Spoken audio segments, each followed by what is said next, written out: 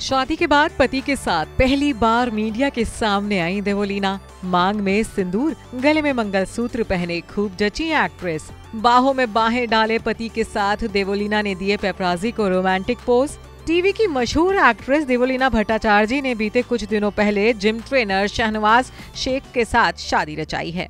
उनकी गुपचुप शादी ने फैंस से लेकर सेलिब्स तक को हैरान करके रख दिया था।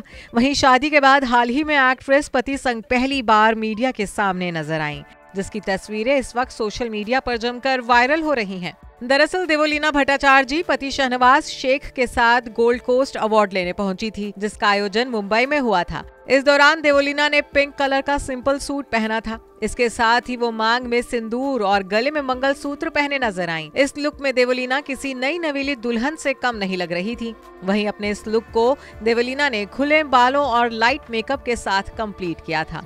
इस दौरान देवोलीना के चेहरे पर शादी के बाद का ग्लो भी साफ़ दिख रहा था। वहीं बात करें उनके पति की तो शाहनवाज शेख इस दौरान लाइट ब्लू कलर का सूट पहने नज़र आए। दोनों पति पत्नी ने इस दौरान मीडिया के सामने हाथों में हाथ डाले, जमकर पोज भी दिए। किसी तस्वीर में देवलीना अपने पति का हाथ थामे दिखी तो किसी में शाहनवाज अपनी वाइफ का ध्यान रखते हुए दिखे। तो वहीं एक फ़ोटो में देवलीना भट्टाचार्य जी, पति शाहनवाज शेख की ओर देखती नज़र आई।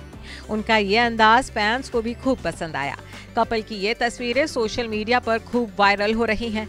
फैंस दोनों की तस्वीरों पर जमकर प्यार लुटा रहे हैं। तो वहीं दूसरी तरफ़ देवोलीना भट्टाचार्य जी और शनवाज शेख को साथ में देखकर कुछ यूज़र्स उन्हें ट्रॉल भी करते नज़र आए।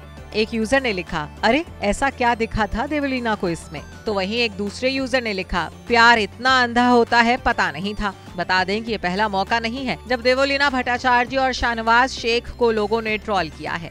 जब से देवोलीना ने मुस्लिम लड़के से शादी की है, तभी से लोग उन्हें ट्रॉल करने का एक भी मौका नहीं छोड़ रहे हैं। बीते दिनों जब देवोलीना ने अपनी शादी की तस्वीरें शेयर की थी, तब भी लोगों ने उन्हें जमकर खरी खोटी सुनाई थी। किसी ने उनके पसंद को बेकार बताया था तो किसी ने उनके शादी को लव जिहाद बताया था।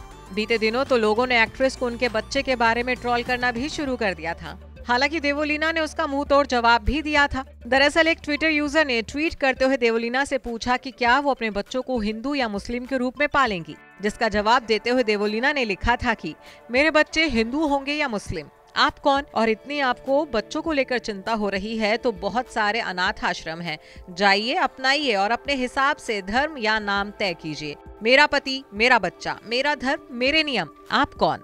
बता दें कि दिवोलीना भट्टाचार्य जी और शाहनवाज शेख ने परिवार और खास दोस्तों की मौजूदगी में कोर्ट मैरिज की थी। इस मौके पर एक्टर विशाल सिंह भी मौजूद थे। देवोलीना भट्टाचार्य जी अपनी शादी के बाद से ही काफ़ी चर्चा में बनी हुई हैं। एक्ट्रेस भले ही ट्रॉल हो रही हो, लेकिन उन्होंने इस पर ध्यान ना देने का फैसला किया है।